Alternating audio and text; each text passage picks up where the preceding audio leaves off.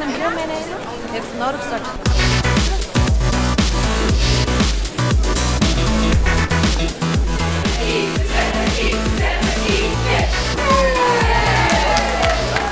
We gaan vandaag met eh, een aantal eh, prijswinnaars gaan wij eh, naar een, een unieke gelegenheid kijken, namelijk de Eclipse vanuit de lucht boven de Faroe-eilanden.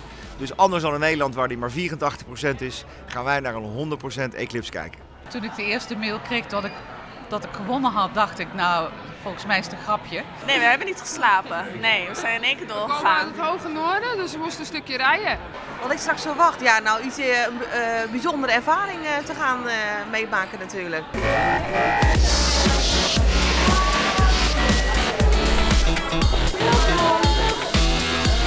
De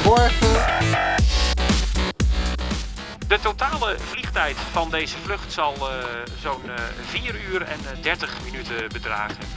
We zullen u daar eh, waar mogelijk eh, zoveel mogelijk op de hoogte houden van eh, het verdere verloop van de vlucht. En eh, uiteraard eh, worden we ook eh, daarin eh, bijgestaan eh, door onze speciale gast vandaag, André Kuipers. Als je op de grond staat, dan heb je totale zonsverduistering van 2 minuten en 27 seconden. In het vliegtuig krijgen we er even 22 minuten. Want we vliegen met de zonsverduistering mee.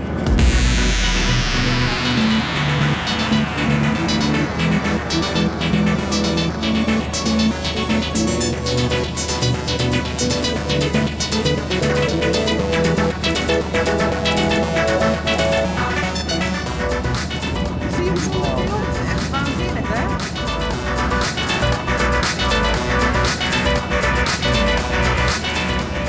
Super, echt mooi. Ja, geweldig.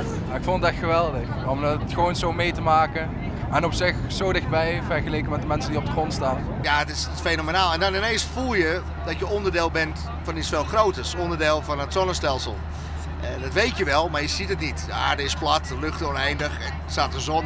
En nu ineens zie je een ander hemellichaam ervoor schuiven. Heel bijzonder. En wat we vanuit hierboven konden zien, was dat de horizon helemaal oranje kleurde. Dat was zo prachtig, echt heel mooi.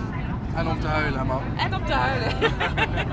Heeft het traantje gelaten? Ik had de tranen in de ogen, ja, zo mooi. Ja.